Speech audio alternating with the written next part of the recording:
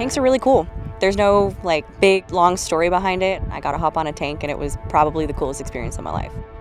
My name is First Lieutenant Katarina Schumacher. I'm a 19 Alpha Armor Officer in the Nevada Army National Guard.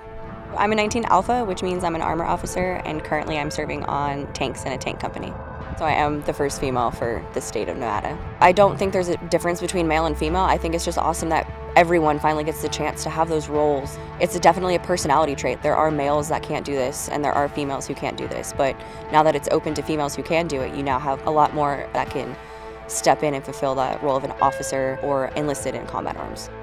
For me, the soldiers are probably the biggest fulfilling aspect of it. I love taking care of them, making sure everything's good for them. My company is awesome, and I, I don't know if I'm ever going to be able to leave them. It's going to hurt when I finally have to leave.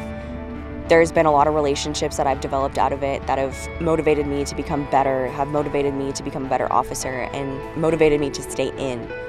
It's a great experience. I mean, you get a lot of benefits out of it, and the camaraderie is something you will never get in any other organization.